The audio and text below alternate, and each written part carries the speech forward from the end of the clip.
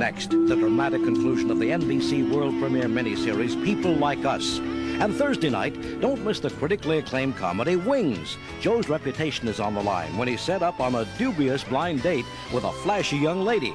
Then Sifuentes' client has a last gasp at death, while a disgruntled sports fan takes Chicago Bears coach Mike Ditka to court on the season finale of LA Law Thursday night, only on NBC.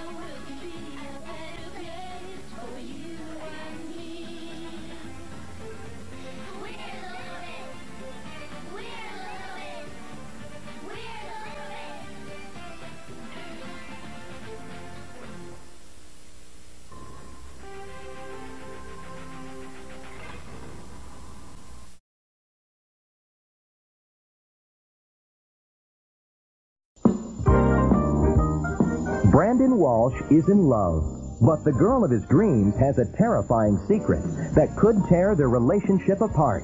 I've never felt this way about anybody before. You gotta tell me what's going on. I don't need you to protect me. Now, stay tuned for a special presentation of 90210 next.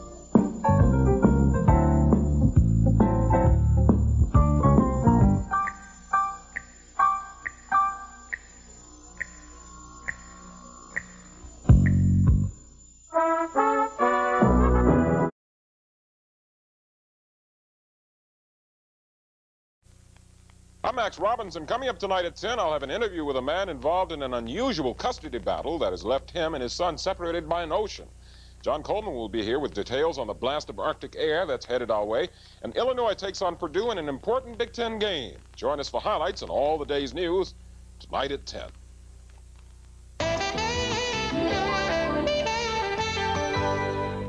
Sit, Ubu, sit. Good dog.